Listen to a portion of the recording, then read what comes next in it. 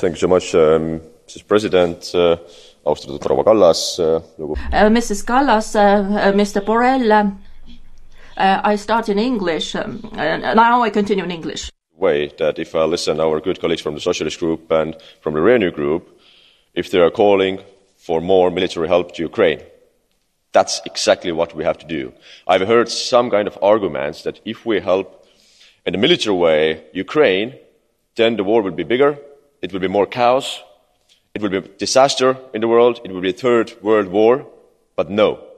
The sooner we end the war in Ukraine, the sooner the Russia will be back in their own territory, and the sooner those refugees who are really refugees today, women and children, are escaping from war zone to neighbourhood countries, the sooner they can go back to their homes.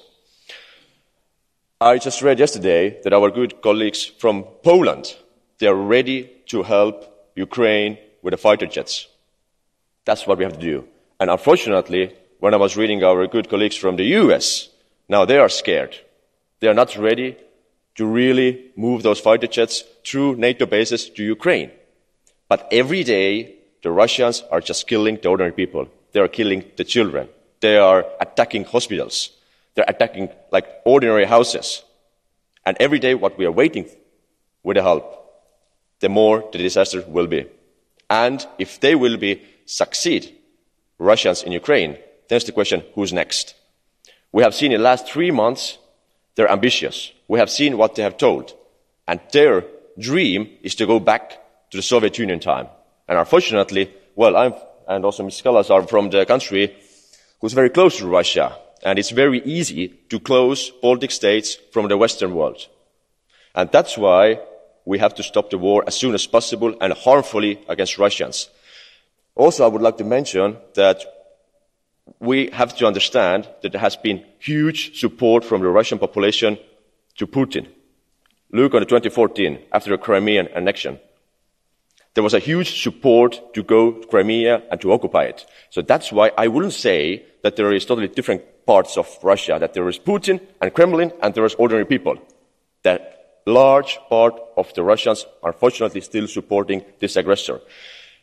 lõpetuseks eesti keeles and I would like to conclude in Estonian. Um, uh, I'm addressing myself to Mrs. Kallas because I don't meet her very often. Um, NATO is an important ally for us, so there's no doubt about that. Um, but in order for the allies to be able to defend us, we must do our bit as well. Uh, political consensus in Estonia is that we must invest uh, uh as uh, quickly as possible into national defense. We have to take a loan to do that. Um, uh, at at the moment, we have the lowest foreign debt in the EU. Um, at the moment there is war going on in our neighboring country. Mm, uh, we, we must take this load, but there is only one uh, Estonian political party that is against it, and this is the Reform Party, your own party. You say that uh, uh it will threaten the balance of the budget. Uh, today we shouldn't speak about the balance of the budget. We should speak about investing in our defense capabilities. All other parties agree, even social democrats. Let's defend Ukraine, let's defend Europe, but also uh, Estonia.